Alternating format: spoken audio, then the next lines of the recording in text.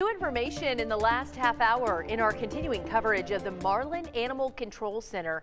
The facility under fire after graphic photos and videos of dogs there went viral. And please know that some of the photos and videos are disturbing. Tonight, the Marlin police chief says that the animal control officer who was in charge of the facility in the dogs during those allegations is now not working while this situation is, quote, ongoing. We also know all dogs have been fostered out, and the Marlin Animal Control Center will not be open for the foreseeable future.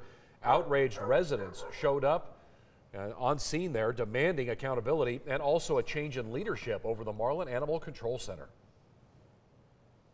It has to change. It has to be someone with compassion, someone that stays here at least eight hours a day in the building to care for these animals someone that will get the volunteers going, get grants going, get donations going, so that we never have to see this happen ever again.